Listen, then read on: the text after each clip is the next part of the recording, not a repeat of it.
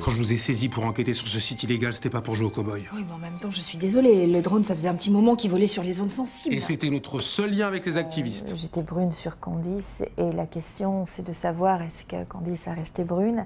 Et surtout est-ce que euh, toute cette remise en cause de toutes ces méthodes et, euh, et sa façon d'être, euh, aussi bien face à des enquêtes qu'à travers des suspects euh, ou ses supérieurs, est-ce que tout va être mis en question? Est-ce qu'elle va finalement les écouter? Est-ce que est-ce qu'elle va changer d'attitude? Ou est-ce que finalement elle va de- redevenir elle-même et toujours euh, en se demandant si finalement ils n'avaient pas raison? Donc est-ce que le personnage ne va pas évoluer vers quelque chose de plus simple, vers quelque chose de plus traditionnel?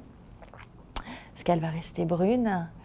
Est-ce qu'Antoine finalement euh, il va vraiment revenir avec Candice euh, à la BSU euh, et renoncer à sa super promo euh, de la PJ Je vous laisse découvrir.